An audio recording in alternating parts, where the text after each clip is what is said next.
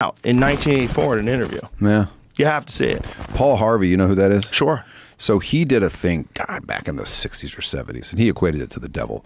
Um, and maybe it is. Or you could also say it's it's it's just that. But he did a radio piece on on how to destroy America, the social fabric of it.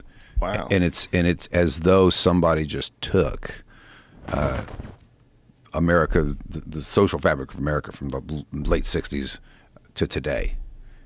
And and the timeline of the things that he said. It's pretty wicked. It's pretty powerful. Wow.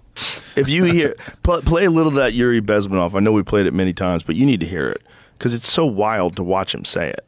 You watch him say it in 1984, and Well, back then, you, pull up the Paul Harvey thing from whenever that was about maybe the let's devil. play that. Pull that up because we, I've, I haven't heard that, and I've heard the Bezmenov thing. We played it like five times at least. It'll blow your mind when you hear this. It's um, it's not good, but it also gives us a chance to right the ship. It hasn't fucking hit the rocks yet. Like we can still come out of this. With the devil. Let me find a better version. Paul Harvey. If I were the devil. Is this the thing? Yeah. yeah, yeah. Okay. Okay. If I were the devil. If I were the prince of darkness, I'd want to engulf the whole world in darkness. And I'd have a third of its real estate and four-fifths of its population, but I wouldn't be happy until I had seized the ripest apple on the tree. The. So I'd set about, however necessary, to take over the United States.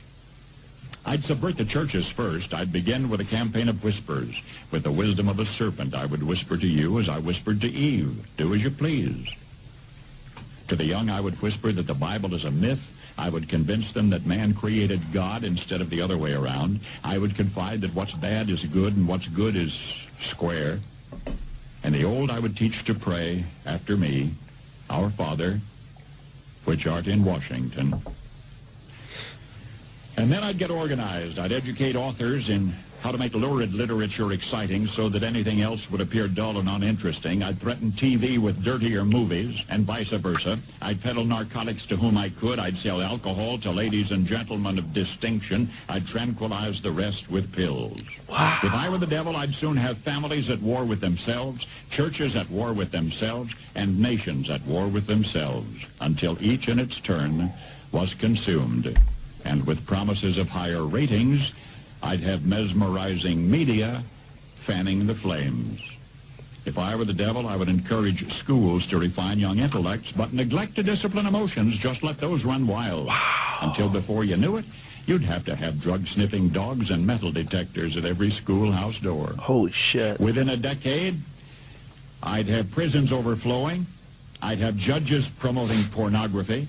Soon I could evict God from the courthouse, then from the schoolhouse, and then from the houses of Congress. And in his own churches, I would substitute psychology for religion and deify science. I would lure priests and pastors into misusing boys and girls and church money. If I were the devil, I'd make the symbol of Easter an egg and the symbol of Christmas a bottle. If I were the devil, I'd take from those who have and give to those who wanted until I had killed the incentive of the ambitious. And what'll you bet? I couldn't get whole states to promote gambling as the way to get rich. I would caution against extremes in hard work, in patriotism, in moral conduct. I would convince the young that marriage is old-fashioned, that swinging is more fun, that what you see on TV is the way to be. And thus I could undress you in public, I could lure you into bed with diseases for which there is no cure. In other words, if I were the devil, I'd just keep right on doing what he's doing. What year was that? It was 65, but Holy shit. 1965. That's amazing. 65. Wow. April 3rd, 1965. Paul Harvey nailed it. Yeah. Wow. So you can you can use devil as a euphemism for anything that you want. Yeah. But the, but the result's the same, and we're seeing it. We're, we're seeing that. You know, I think they said, what somebody said that all these things are bad. Work ethic, all these things are racist. or Yeah. whatever. It's, it's mostly. yeah. Toxic masculinity. Oh yeah, I've been I've been accused of that. Congratulations. You're on the right side. That's a fascinating one. Yeah. Defund the police, toxic masculinity. Yeah, that They're- worked. That worked great. Yeah, they're all in the same sort of category of things. Like that seems silly. Seems silly to think that way. You need all of it. You need masculinity and femininity. It's okay. Just be whatever you are, but you, you, you fucking need it. Yeah. And if you want to tell those dudes that are playing football that uh, they're they're toxic masculine, who what else are you gonna get? Who who's gonna play football other than like super aggressive alpha males? What are you talking about? But why is It's that? It's not toxic. that's not toxic. no, it's just natural masculine behavior. Yeah. It's not toxic.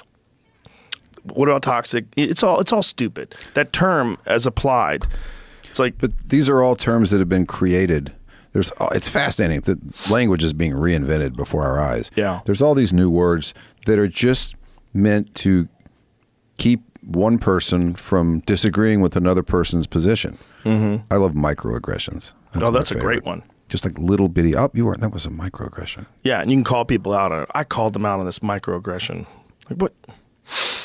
I, I, I don't think I've ever been guilty. I don't think anyone's ever been curious about my, you know, if I if I if I'm upset at you, you're gonna fucking know it. Yeah, that's how it should be. Yeah.